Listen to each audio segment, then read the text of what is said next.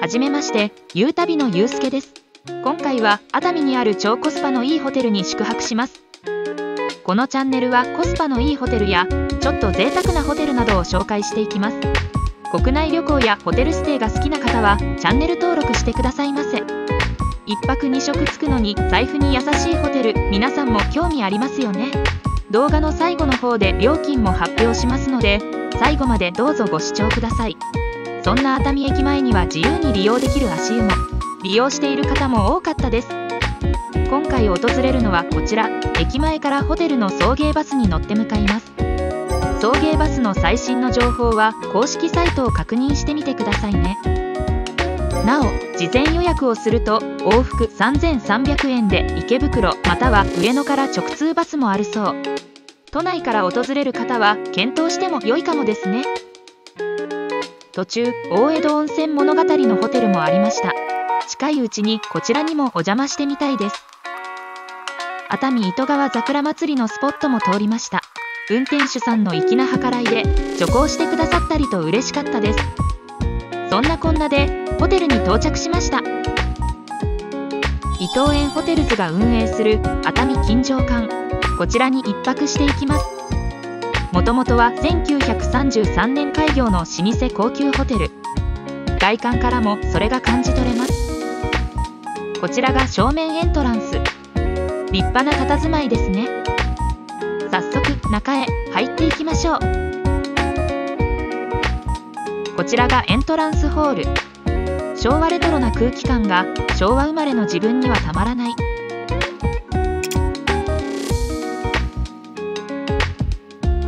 速チェックイン手続きを早めに到着したので鍵の受け取りの15時まで待機です。レセプション横に浴衣もこちらからお気に入りの柄を持っていきましょう。鍵を受け取り今回アサインいただいたお部屋へ向かいます。熱海緊張館の中でも上位の塔である御用館に泊まります。塔の入り口の足元には水が流れており金魚が泳いでました。水の音が癒しです。御用館1階のエレベーターホール。雰囲気が最高です。2階に到着しました。お部屋はどこかな？こちらがアサインいただいた125号室。和室10畳タイプのお部屋です。鍵は差し込むタイプ。こんなところもレトロでいいですね。さて、入室です。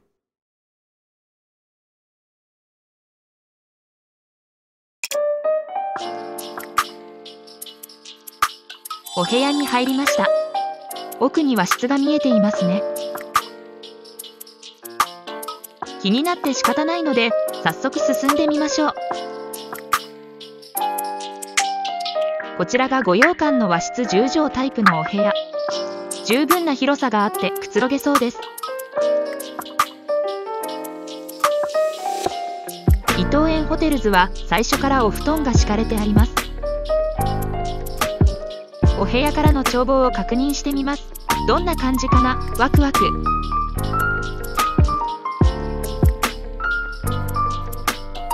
ホテルの庭園が眼下に広がっていました。庭園の様子も後ほど紹介したいと思います。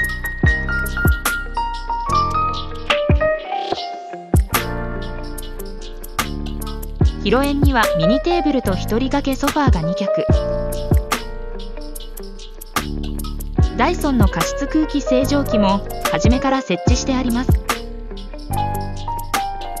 本間に戻りこちらの押し入れを見てみましょう。こちらはクローゼットになっていました。ハンガーも十分に用意されており寒天も人数分かかっていました。金庫も置かれています。小さめなので財布や鍵などの小物向けですね。金庫の上に貴重品袋。めっちゃレトロ。押し入れの隣の棚には殺虫剤のベープとライトスタンド。下の棚には電気ケトルが置いてありました。次はこちらの押し入れを見てみましょう。予備やライスの予備が入っていました。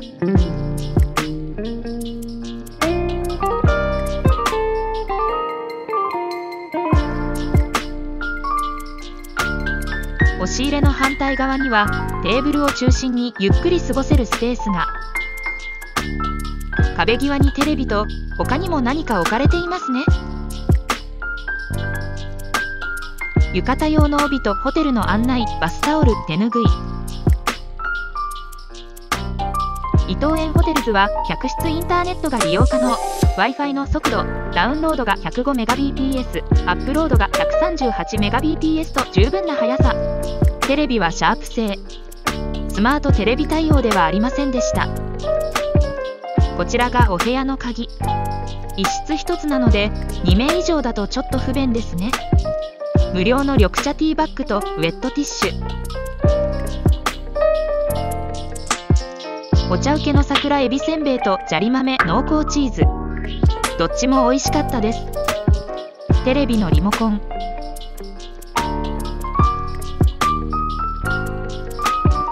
立派な姿見がついた兄弟。兄弟の上にティッシュボックスと客室内電話機。ダイヤル式なのレトロですね。兄弟の横にゴミ箱も用意されていました。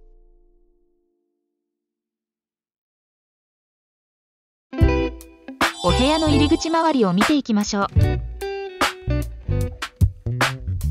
踏み込みには鮮やかなカーペットが敷かれ上がりかまちがあるタイプですね。今回のお部屋の位置はこちら。1フロアに6室のみのようですね。下駄箱の上には集保音と除菌消臭スプレー。館内用スリッパ。伊藤園ホテルズのキャッチフレーズ人生は旅が書かれていますね。次の間には小物が置けそうな棚と冷蔵庫が設置してあります。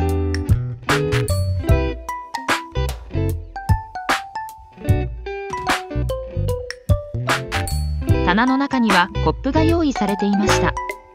栓抜きもありますね。冷蔵庫の上にはポットや製氷機についての案内。2ドア式の冷蔵庫。上段は冷凍庫になっていました。ロビーでアイスの自動販売機があるので活用できますね。壁には空調操作のつまみが。冷暖房は選べない。難易度高いタイプでした。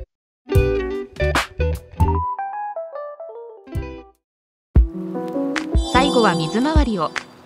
次の間入ってすぐ左手のこちらから。扉を開けるとお手洗いでした。適度な広さのあるちょうどいい空間となっています。匂いも特になく清潔感もあってグッドです。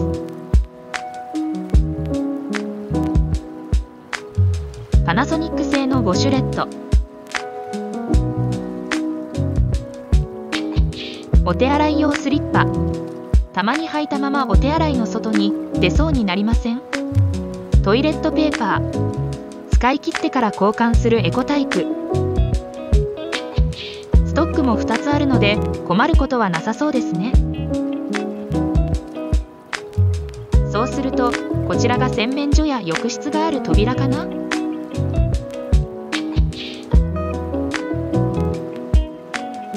予想通り洗面所となっていました。洗面所も程よい広さで清掃も行き届いていて清潔感がありました。足元にはタオル掛け温泉宿にはぜひ欲しいアイテムですね。椅子も用意されてます。ドライヤーとか使う際に便利ですね。アメニティは歯ブラシセットと折りたたみタイプのヘアブラシのみ。パナソニックのヘアドライヤー。正常済みの袋に入ったコップも2つ用意されています。ハンドソープとハンドタオル。包装に入っているだけでちょっとした安心感。模様入りのすりガラスのドアの向こうはバスルームかな？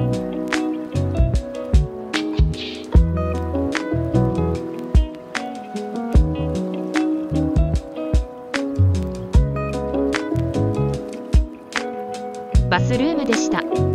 ベージュ系の色の壁なので全体的に明るく見えます。バスタブは深さもあるタイプ。足は伸ばせなさそう。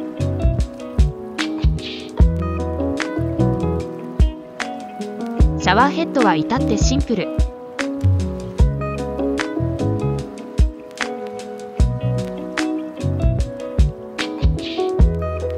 までも問題ないくらい背の高い鏡。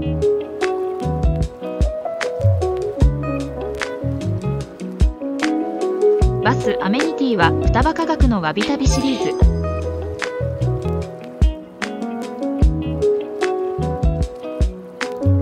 風呂桶とバスチェアも。まあ大浴場があるのでお部屋のお風呂は入らないですね。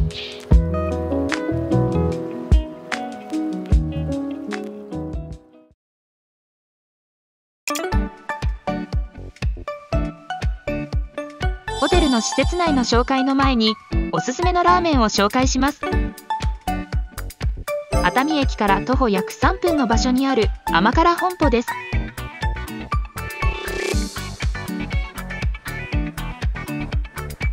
カウンター6席のみととてもこじんまりとしていますが長蛇の列ができる人気店。醤油塩味噌の各種ラーメンチャーハンネギチャーシュー丼というラインナップ。そこそこの時間並んでようやく入店できました。卓上にはニンニクや胡椒などいろいろと置かれています。醤油ラーメンを頼みました。税込750円です。味濃いめででもくどくなくとっても美味しかったです。半チャーハン。11時から15時限定で100円引きの300円です。これもとても美味しい。こんな感じでホテル周辺のグルメも紹介できたらと思っています。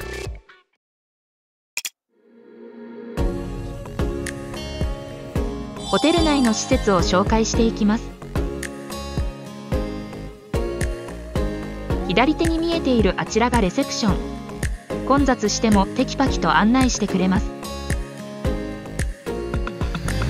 立派な倉庫も飾られていました。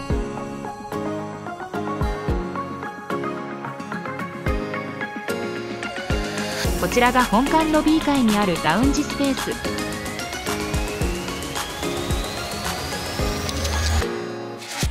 自由に使える電子レンジ。奥に自動販売機もありますね。すべてアルコール飲料でした。ちょいお高めなホテル価格ですね。アイスサーバー。アイスペールはフロントで借りられるみたいです。浴衣のコーナーの近くに売店もあります。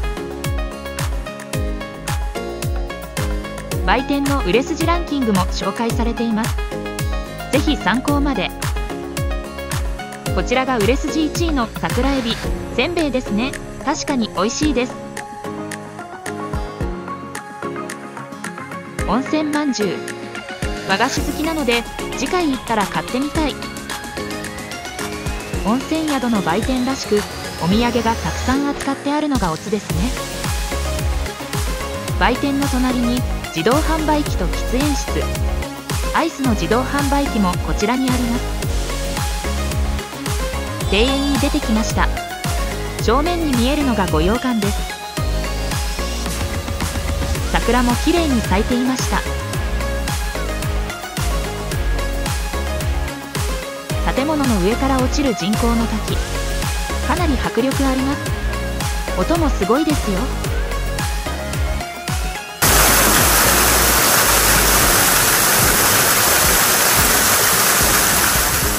庭園を流れる池で金魚や鯉がたくさん飼われています。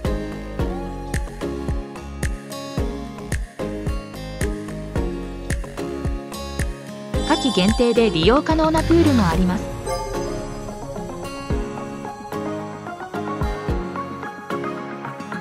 立派な庭園なのでのんびりくつろぐ方々も時間帯問わずいました。さてそろそろ館内に戻りましょう。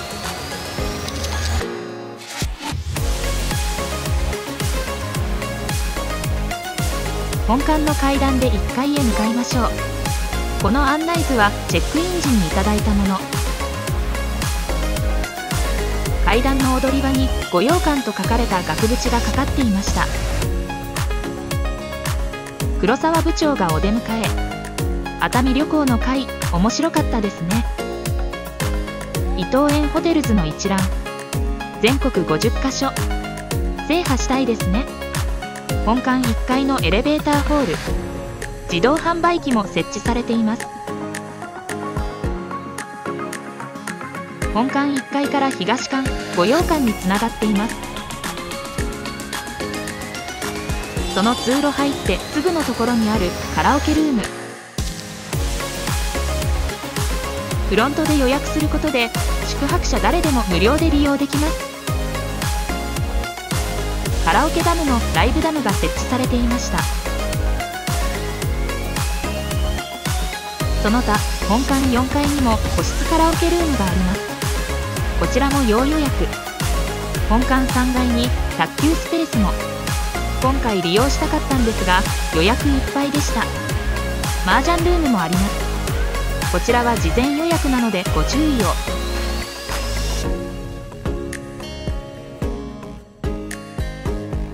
さてさて温泉宿といったらやはり温泉ですよね。熱海金城間は熱海温泉の熱海210号線の自家源泉となっています。ナトリウムカルシウムを含む塩化物温泉で弱アルカリ性。肌触りが滑らかです。大浴場のすぐ近くには湯上がりどころ。お手洗いも向かって左手にあります。こちらが宇宙となります。金のシャチホコがお出迎えしてくれます。湯温は40度前後で入りやすいです。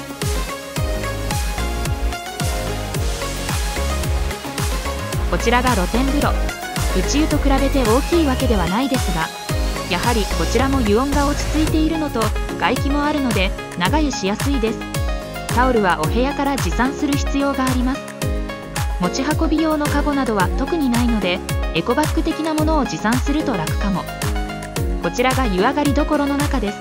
マッサージチェアは有料で15分200円だったかな。温泉宿あるある足つぼマッサージ機。こちらは無料で利用できます。というわけでもちろん利用しました。温泉といったらやっぱり牛乳とコーヒー牛乳。ソフトドリンクやウォーターサーバーもありました。メントスのゲーム機とたくさんのカプセルトイマシン。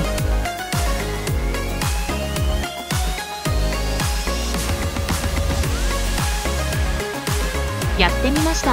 7個当たれ。4個でした。がっかり。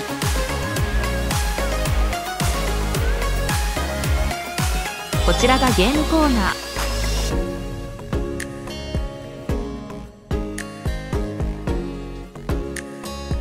昭和のゲーム機じゃんけんマンじゃんけんポン図工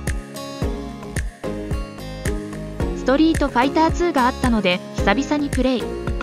高校時代以来だからなかなかコマンド入力ができなかったです。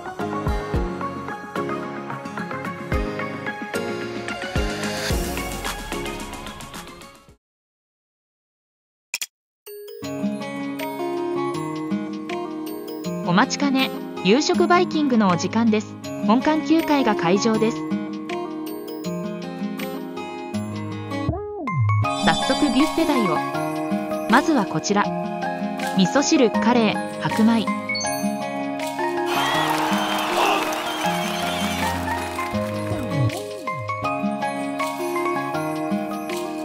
ドリンクコーナー。お茶やホットコーヒー。ソフトドリンクサーバー。個人的にミニッツメイドの炭酸オレンジジュースがおすすめです。静岡県の酒造メーカー花の舞。純米酒銀醸カラベル本醸造通。ハイボールやレモンサワーもありました。ワインは赤と白。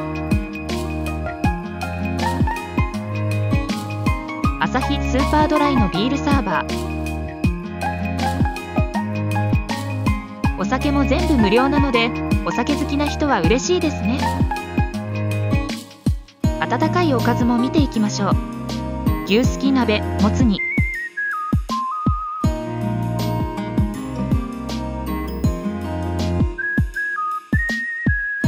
茶碗蒸し。銀杏もしっかり入っていました。ちらは天ぷらのつゆや大根おろしおろし生姜塩。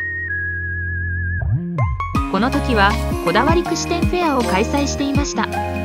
エビネギうずら卵ベーコン鶏ももイカ牡蠣と充実してますね。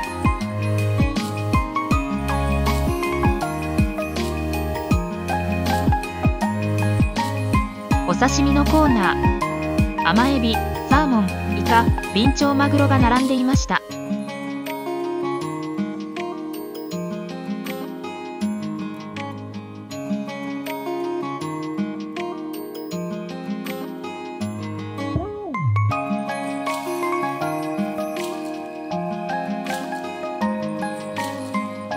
な人にはたまらないカキフライ。いくらでも食べたい鶏の唐揚げ。たこ焼き。美味しいのでぜひ食べてほしいですね。お酒お寿司のコーナー。エビ小肌サーモンイカマグロの5種でした。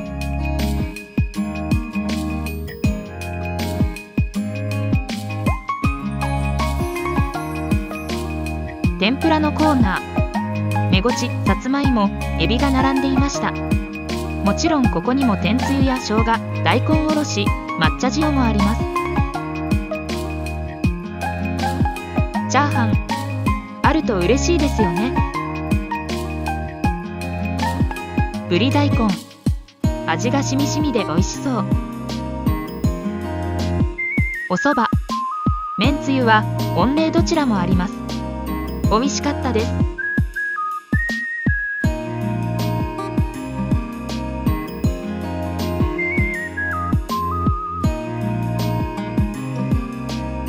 ラーメン。スープは醤油味ベース。ネギチャーシューがいいアクセント。まだまだ紹介は止まりません。温かいおかずはまだあります。酢豚ミートグラタン。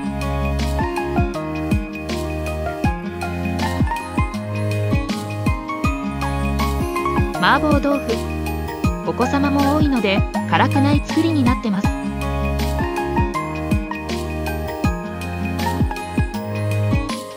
鶏もも肉のタンドリー風マリネ焼き。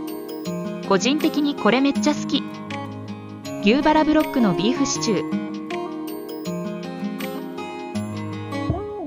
アイスのミルクバーもありました。そのアイスの位置から向こうを見るとまだまだ並んでいますね。フルーツはライチとパイナップル。パイナップル嬉しい。スイーツはプチシュークリームロールケーキショコラケーキ。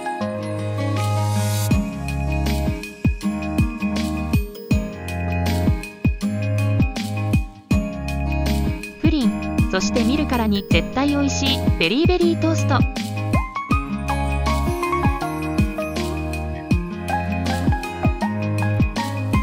サラダのコーナー。オニオンスライス大好きなのであるの嬉しい。ドレッシングはマヨネーズ含めて4種類。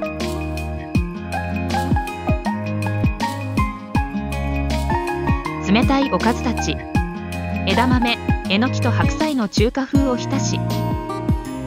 モロヘイヤとオクラのおひたし油ガレーの南蛮漬け。ローストポークというラインナップでした。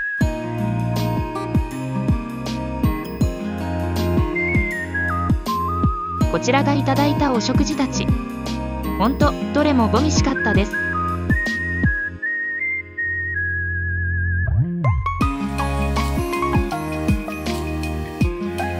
意外だったのがプチシュークリーム。よくあるやつを想像していたら中のクリームがめっちゃ冷たい。2便目もいただいたりしました。ごちそうさまです。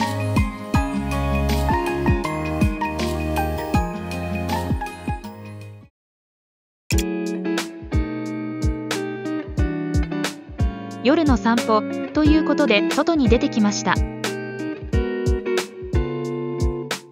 日中は多くの観光客と車でにぎわう熱海市街も夜は落ち着いた雰囲気に。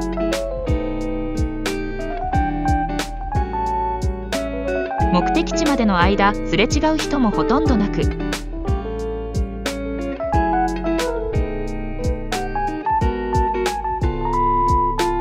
目的地周辺はさすがに人が多く集まっていました。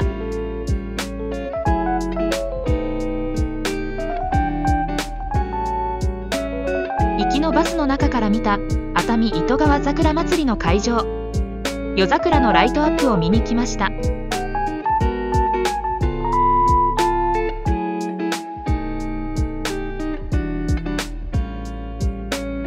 夜桜のバックには同じ伊藤園リゾートの熱海ニュー富士屋ホテル。スワップも綺麗だし提灯なんかも飾られていたりしてとても雰囲気良かった。それではホテルに戻ってゆっくり休んで朝食に備えましょう。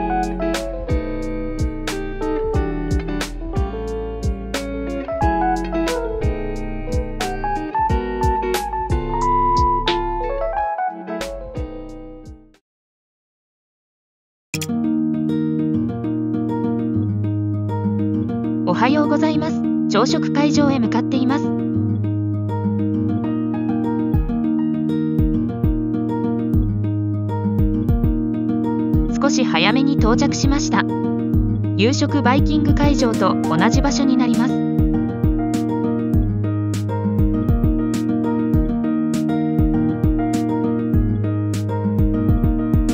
朝食券と引き換えに食事中のカードをいただきました。60分間がっつり食べますぞ。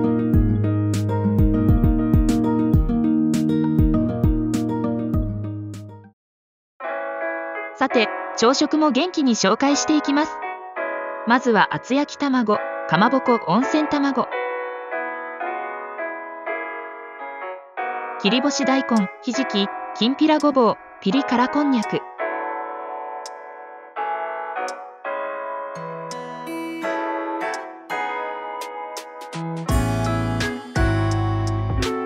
こちらのせいろの中にはシューマイが入っていました。せいろを開けた瞬間湯気がめっちゃ熱かった。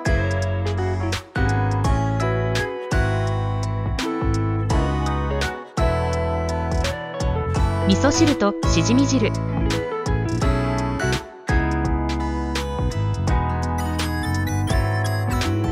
大好きな納豆味のり。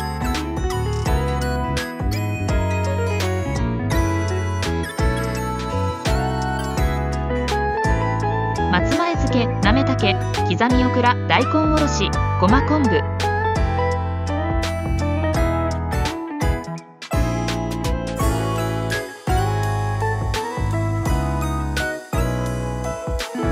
味の干物さば焼き。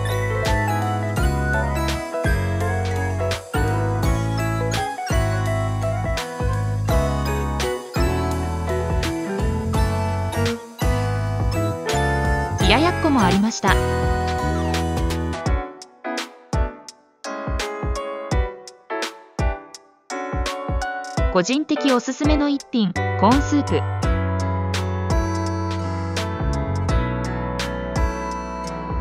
この白いもっちりパンはまこちゃんのお気に入り。バターやジャムを挟んでソフトフランスパンもありました。ジャーマンポテトスクランブルエッグ。どっちも美味しいですよ。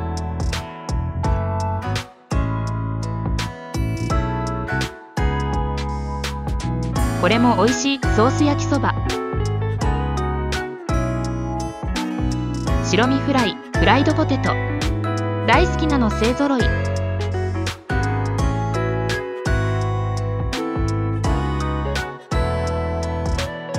甘くて美味しいあんかけ肉団子。その隣には粗挽きウインナー。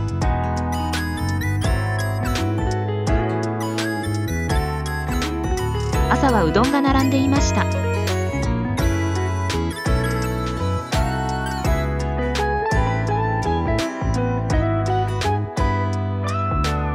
メンつゆはそばと同様御礼どちらもあります。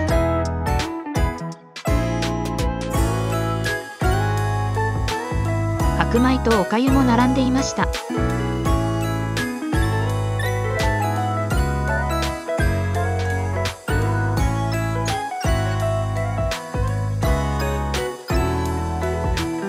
サラダのコーナー。ポテトサラダの代わりにマカロニグラタンとボロニアソーセージが並んでます。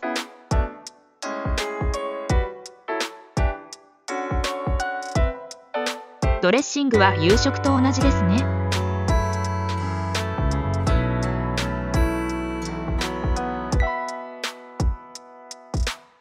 フルーツはグレープフルーツルビートトロピカルフルーツ。その隣にはヨーグルトも。トロピカルフルーツと混ぜたりするのが個人的に好きです。オレンジジュースと牛乳。牛乳の隣にコーンフレークも。お酒はありませんがこちらのソフトドリンクは変わらずあります。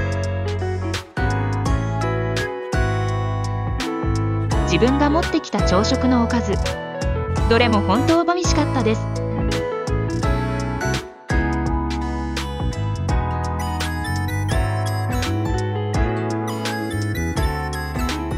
朝食も品数豊富でさすがだなと思いました。ごちそうさまでした。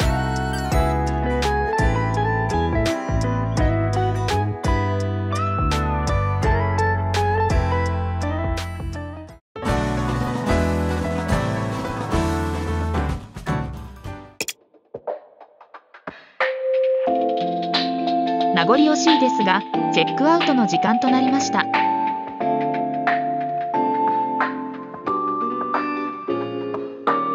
熱海金城館いかがでしたか？昭和レトロな雰囲気も感じつつ温泉もしっかり楽しめる素敵な温泉宿です。今年は温泉宿巡りの機会が増えそう。